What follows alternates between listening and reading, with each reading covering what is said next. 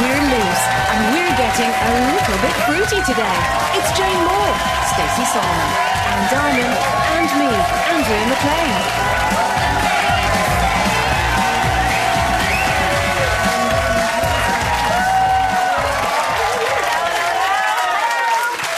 Welcome to your first Loose Women of the Week. We've got lots coming up for you today, including, well, things are going to be getting a little bit saucy here at one o'clock. Not too saucy, it's daytime, after all. But we will be discussing how you tell your partner what you want between the sheets. Uh-huh.